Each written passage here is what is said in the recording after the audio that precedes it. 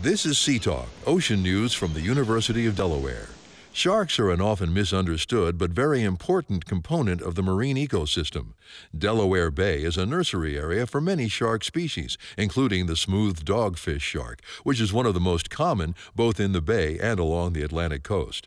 Measuring in with an average adult length of 3 to 4 feet, smooth dogfish sharks aren't intimidating in size. In fact, their teeth are small and flat and are designed to crush food such as crabs, shrimp, and lobsters.